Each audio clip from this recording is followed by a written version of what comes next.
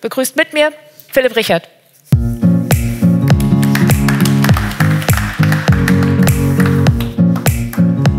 Ja, Antje, vielen, vielen Dank. Liebe Besucher, liebes Team von MGM, vielen Dank äh, für die Einladung zur diesjährigen Konferenz hier in Hamburg, die Solutions und die Chance, den digitalen Wandel aus Sicht der Energiebranche zu erläutern. Gerade schon vorgestellt worden, ich bin Philipp Richard, Teamleiter Digitalisierung und Ener Energiesysteme bei der Deutschen Energieagentur und habe jeden Tag die Chance, mit meinem Team an sehr, sehr spannenden Themen zu arbeiten, nämlich der Digitalisierung und der Energiewende gleichermaßen. Ich habe heute den Titel gewählt, Digitalisierung der Energiebranche, warum sich tatsächlich sehr viel ändert und hoffe, das in den nächsten 20 Minuten, 25 Minuten darlegen zu können. Ich habe dazu im Hinterkopf eine kleine Agenda.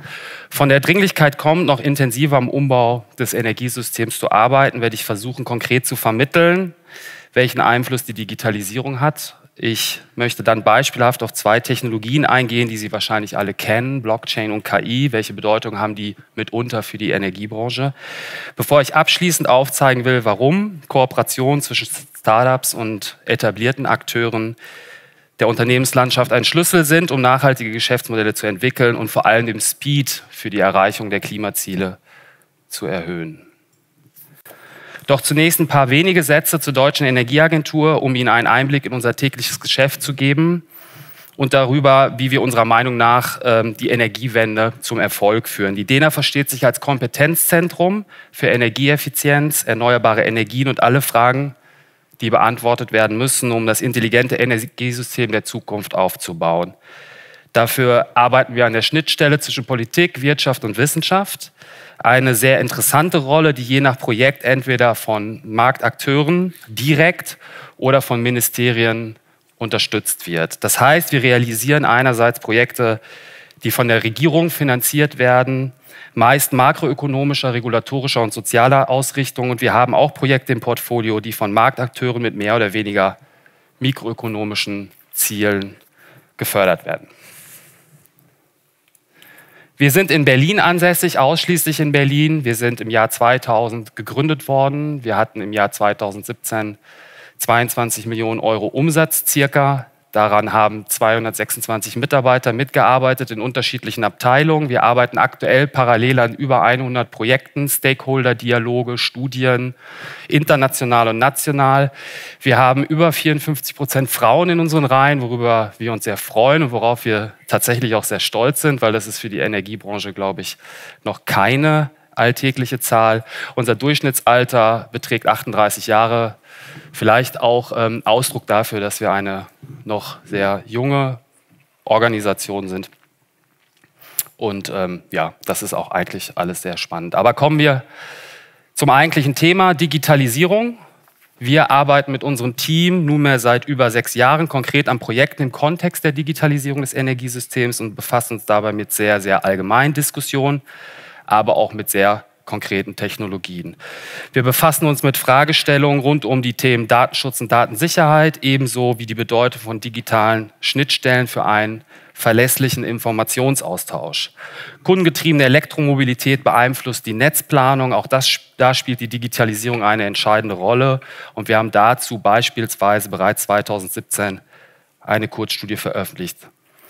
Oder auch das Thema Blockchain, das spätestens seit 2016 die Energie- und die Finanzbranche ziemlich durcheinandergewirbelt hat.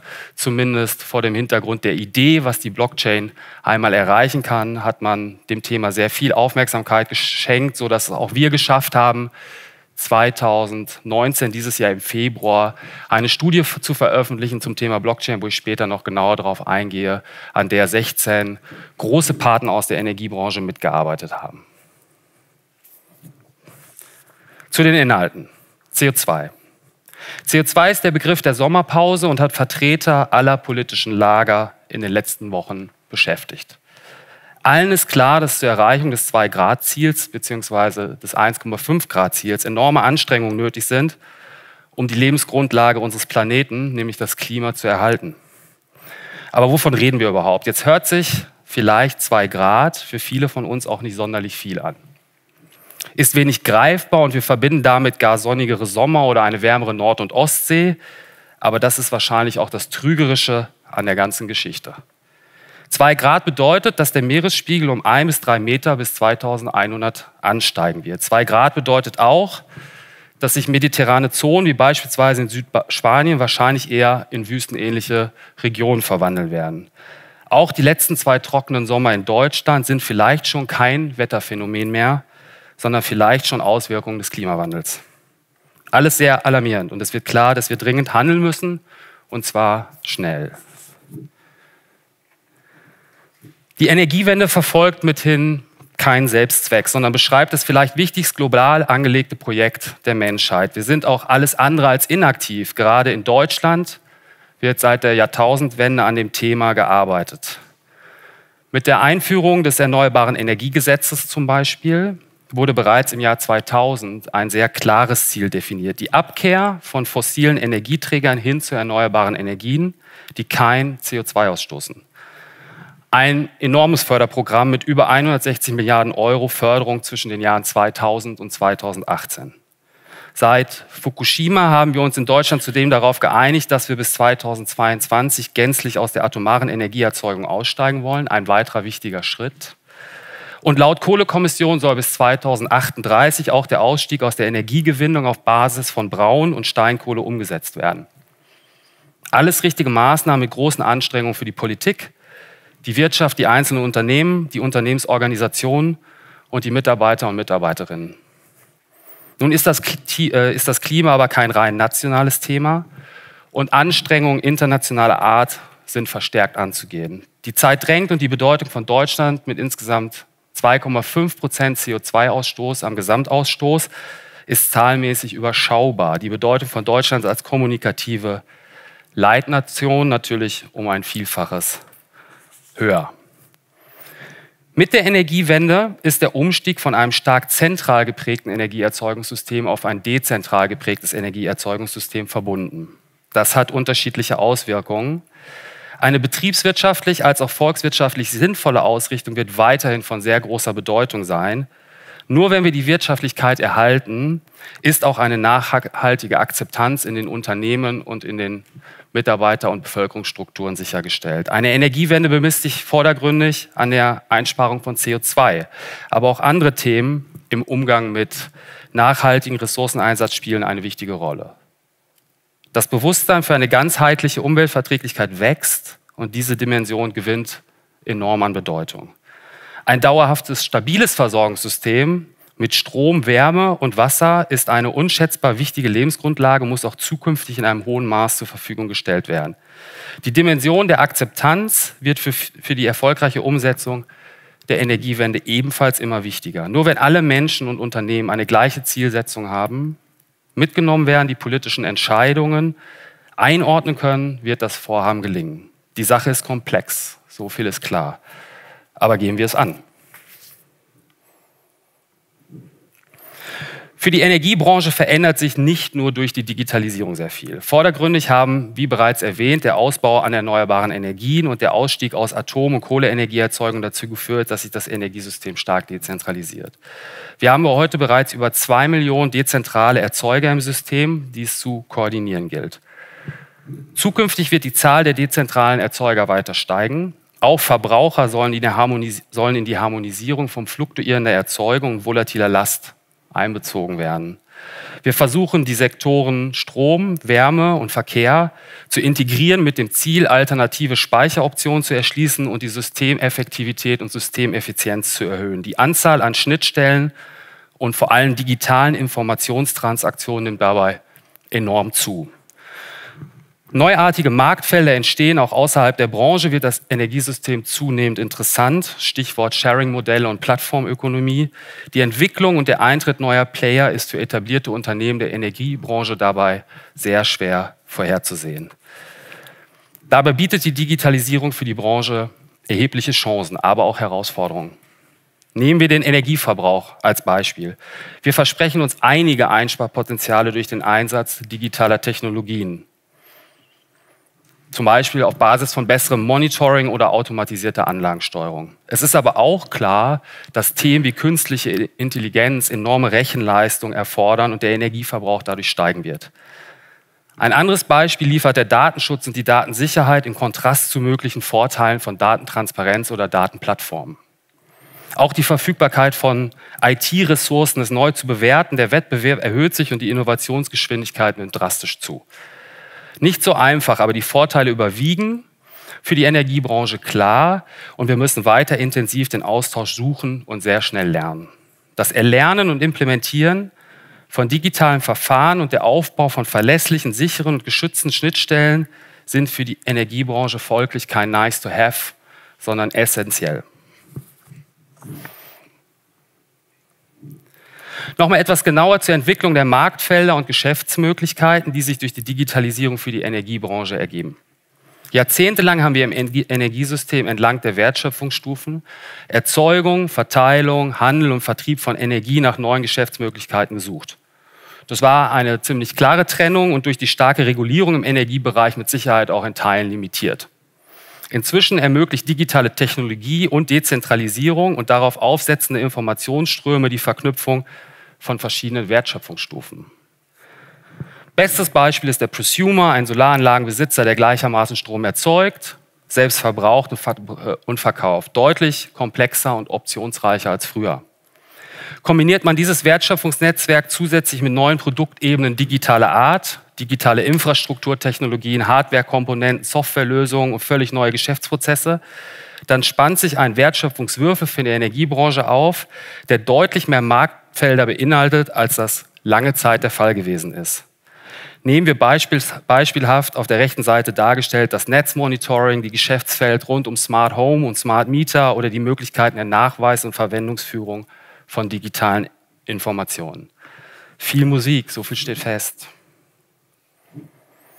Vertrauen ist weiterhin ein eminent wichtiges Thema und bestimmt nahezu jede Entscheidung im wirtschaftlichen und organisatorischen Umfeld.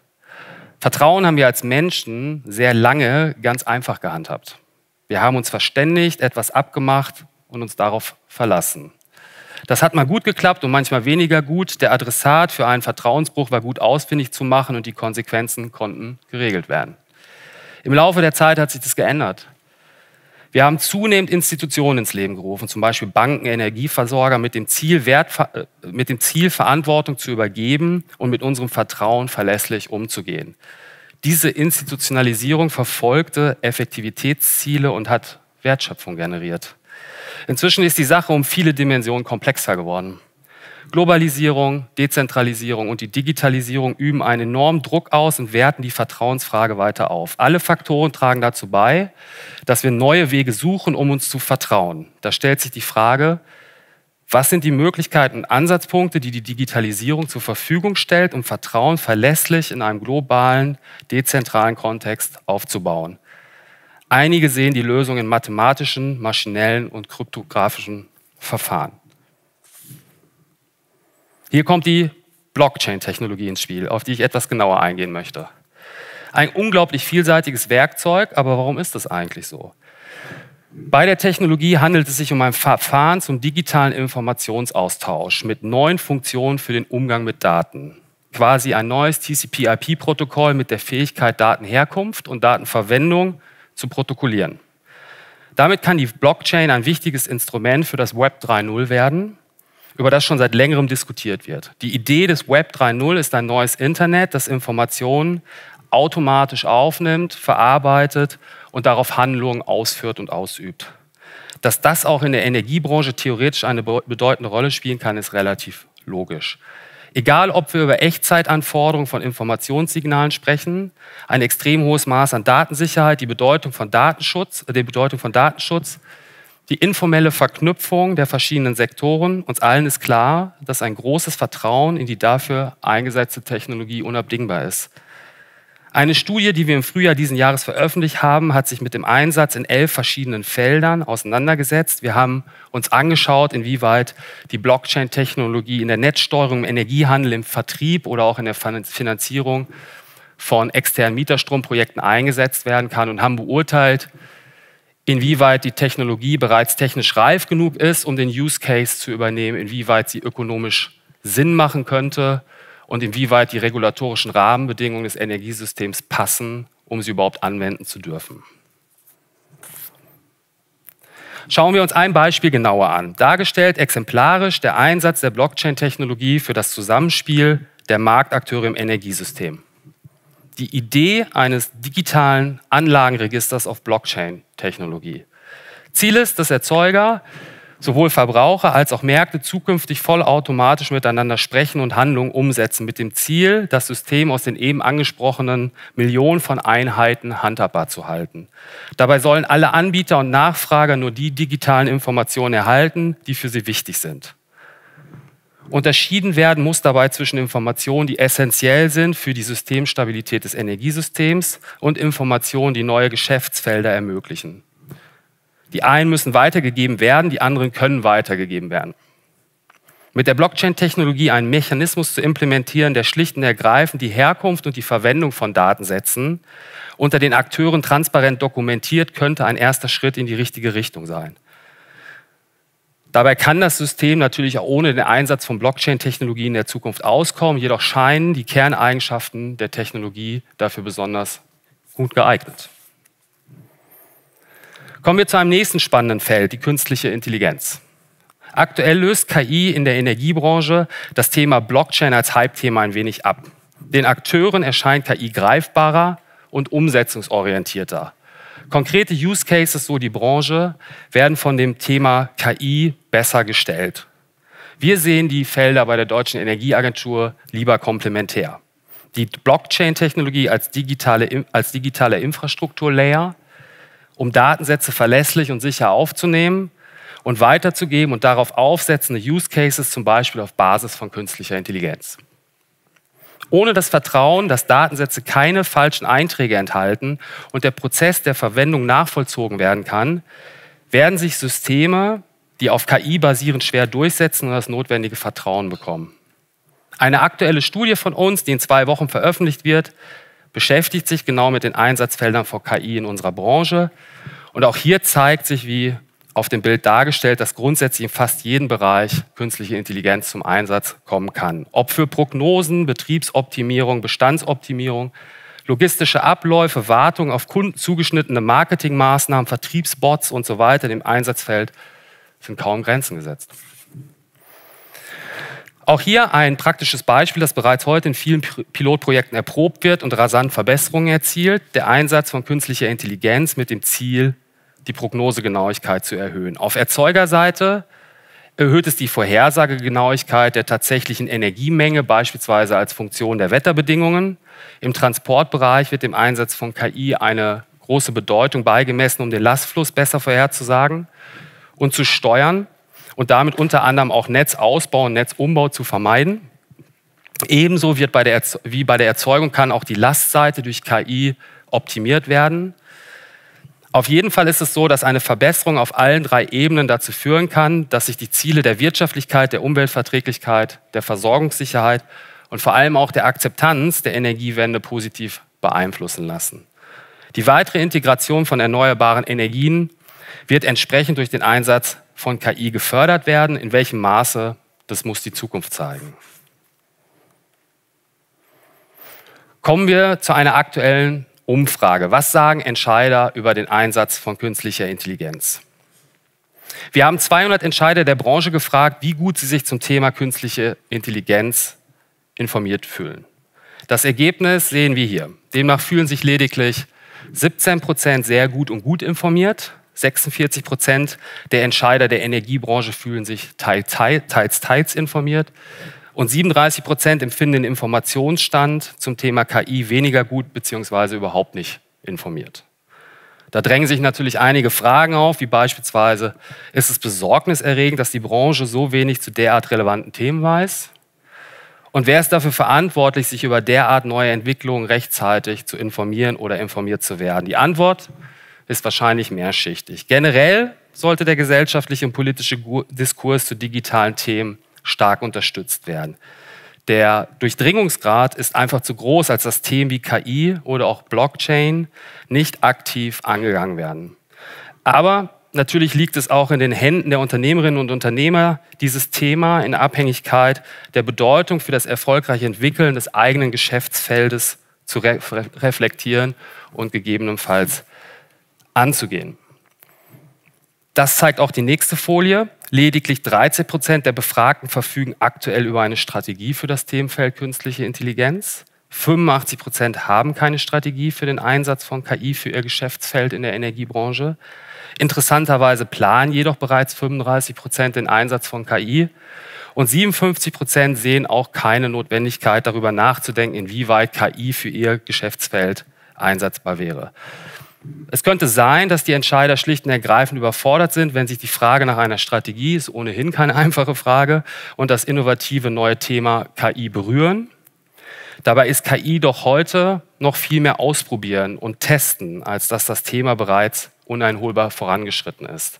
KI meint, digitale Informationen, wie bereits erläutert, aufzunehmen, automatisch auszuwerten und in Handlungen umzusetzen, die in der Prozessgestaltung Effektivität und Effizienz versprechen oder neue Geschäftsmodelle ermöglichen.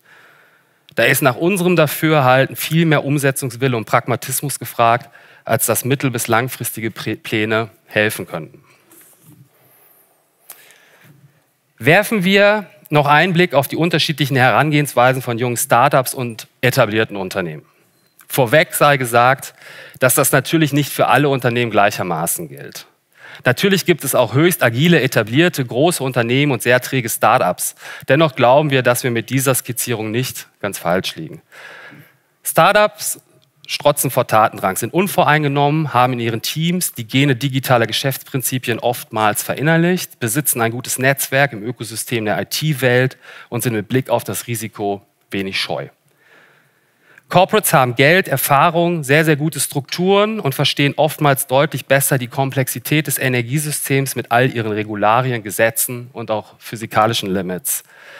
In der Zukunft werden erfolgreiche Unternehmen diese Vorteile vereinen und verstärkt zusammenarbeiten. Nur wer sich das Beste aus beiden Welten sichert, so die Prognose, wird in der Energiebranche nachhaltig erfolgreiche Geschäftsmodelle aufbauen. Kooperationsfähigkeit zu fairen Bedingungen wird durch das disruptive Potenzial der Digitalisierung ein immens wichtiges Asset der strategischen Führung. Abschließend möchte ich noch wenige Handlungsempfehlungen aussprechen, die darauf einzahlen, dass wir die Klimaziele erreichen erfolgreich weiter wirtschaften und uns als Menschen dabei nicht abhängen. Mit Blick auf die Unternehmenskultur ist aus unserer Sicht wichtig, dass die Existenz der Klimaziele und die unternehmerische Haltung eines jeden Unternehmens zusammengeführt werden. Das verspricht für die Mitarbeiterinnen und Mitarbeiter Klarheit in der Zielsetzung und schafft erstes Vertrauen. Das Thema Digitalisierung sollte zudem positiv belegt werden, da es deutlich mehr Chancen bietet und viele neue Optionen schafft. Strategisch sollte die Risikobereitschaft gerade für datengetriebene Geschäftsmodelle durch die Führung erhöht werden. Um erfolgreich zu sein, sind zukünftig faire Partnerschaften mit jungen Unternehmen zu fördern. Organisatorisch ist es wichtig, inhaltlich auf Stand zu kommen. Schulungen, Fachausbildung, Kooperationen im IT-Bereich sind elementar und sollten ausgestaltet werden. Zudem werden interdisziplinäre Teams an Bedeutung gewinnen, da die Komplexität für erfolgreiche und nachhaltige Geschäftsmodelle weiter steigen wird. Technisch bzw. praktisch sollte mehr Versuch und Irrtum zugelassen werden. Neue Themen wie KI sind kaum vorhersehbar und stärkeres praktisches Erlernen kann hier ein Erfolgsgarant sein. Die nötigen Experimentierräume dafür schaffen, örtlich, inhaltlich und auch zeitlich ist eine Maßnahme, die jedes Unternehmen für sich angehen kann. Bis hierhin, vielen Dank für Ihre Zeit. Ich hoffe, es hat gefallen. Wenn Sie noch Fragen haben, können Sie mich gerne kontaktieren. Ich glaube, ich bin jetzt auch in der Speakers Lounge. Vielen Dank.